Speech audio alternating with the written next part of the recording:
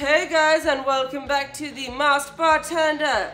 Today's mask is a charcoal bubble mask uh, from Pure Derm. I have to say a big thank you to one Lindsay Mason. Uh, she sent us these masks. It's charcoaly, it's bubbly, I'm a big fan. Get him, I can hear it bubbling. So today's cocktail is a drink and a shot in one. A sake bomb. It was actually American soldiers after World War II who occupied Japan that created this filthy fucking drink. So the sake we are using today has been brought back to us from our favorite band, uh, the Baby Shakes. Their last tour in Japan, they brought back this beautiful bottle. Guys, Listen to the fucking baby shakes. There's a, a particular music video you might be interested in.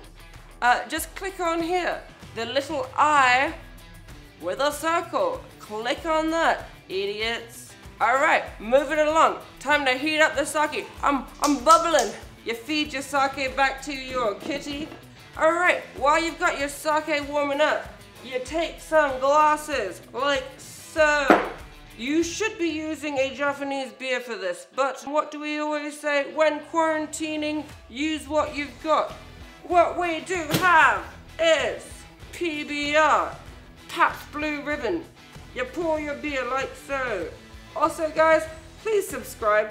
If I don't have enough subscribers in 10 days, I'll quit. And then where will you be? Back to boring old Netflix. Little trick guys, too much froth? Just wait, it'll settle. Alright, you put your chopsticks, the shot glasses.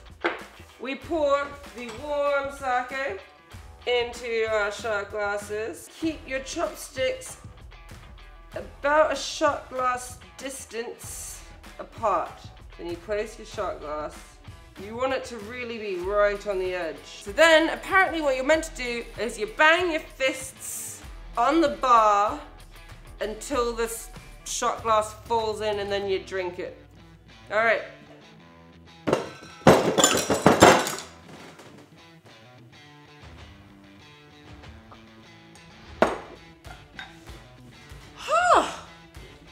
hey, that was relatively successful, guys. I mean, I'm clearly failing at life, but I think I did that pretty well. The one good thing about today is that it should be us doing our taxes and having to do them. God, I can't talk. I'm bubbled. I am bubbled up. We don't have to file our taxes today. So, you know, there's a silver. Oh, fuck. A big hello to our friend Ken from Japan. We miss you very much. Thanks for subscribing. Please continue to do so. And thanks for. Oh, wait, fuck. Tip for a tip. Never ever pound on the bar. I know we just showed you how to do that, but that is for you to do at home alone. No pounding on bars. And um, small, pussy kids.